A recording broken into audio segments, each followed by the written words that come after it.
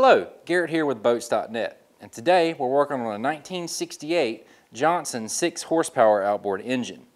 I got this engine off of Craigslist not too long ago, and one of the first things I want to do is actually test the compression on this engine. So, this job's not going to really have many parts, but let's head over to the bench and I'll show you some tools you may need to get the job done. All right, as far as tools go, not gonna need too many special tools, but you will need one in particular, and that's a decent compression test kit. This is gonna help us make sure we have the appropriate compression for each of the cylinders on our outboard engine. Now that we've got the tools squared away, let's go over here and knock it out.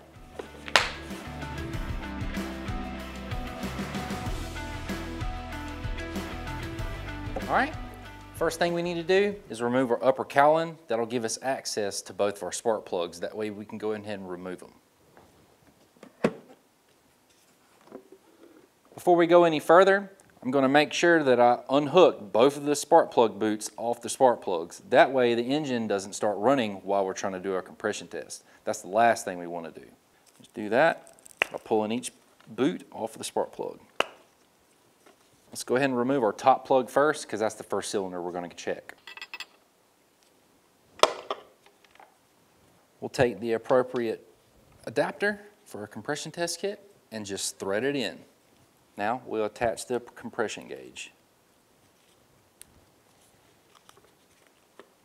Okay, now that we've got our gauge in place and everything's set and ready to go, next thing I'm going to do is actually pull the pull cord about six, seven times to get the engine to build compression. But as we do this, need to make sure that the throttle is set to wide open.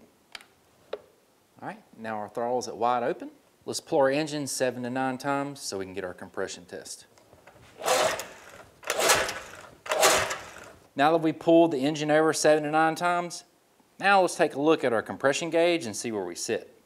You can tell that we're at 85 PSI. That's a good thing Johnson states that it should be anywhere between 85 to 90 psi to get a proper combustion. So we're good to go for the top cylinder. Now let's check the second cylinder. Being that we're already at the spark plugs here, if you pull yours out and you realize that they're just blackened with soot and fouled out, that would be a good time to go ahead and replace those since you're already at them. And we'll go ahead and remove our lower spark plug.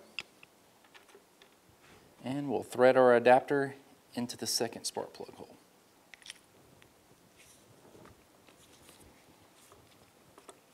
Now, let's snatch the motor over a few more times. We're at 85 PSI on this one as well, which means we're within spec from the manufacturer.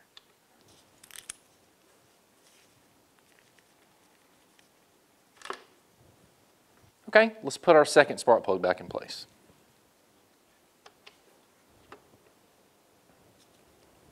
We successfully completed our compression test and we're within spec on both cylinders. Now, if you by chance fail your compression test, you may want to look into rebuilding the cylinder and removing the power head. Well, listen, for parts and tools used in this project and more, come check us out at boats.net and we can get you taken care of. If you have any questions or comments, just drop them in the section below and I'll do my best to answer them. Just want to say thanks for watching and we'll see you next time.